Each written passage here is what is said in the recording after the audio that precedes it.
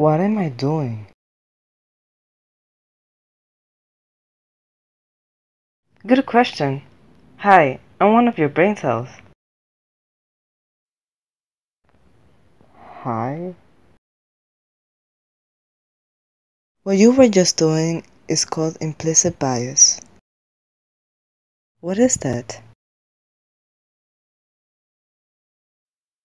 Implicit bias is when you associate stereotypes towards a person or a group of people based on their race, skin tone, religion, gender, nationality, body type, and many other things. Implicit bias makes people have a negative or positive attitude towards someone, and it can have a big negative impact when it comes to decision making. When you immediately make a judgment towards someone, good or bad, you are making a decision on how to treat that person without even knowing them. Is that fair? How do I get rid of my implicit biases?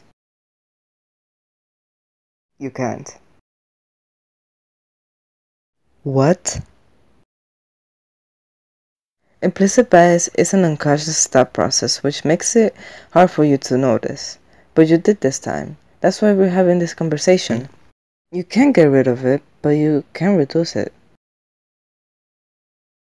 How? By keeping an open mind, being aware of your implicit biases, and trying to go against them. Just don't judge a person without even knowing them.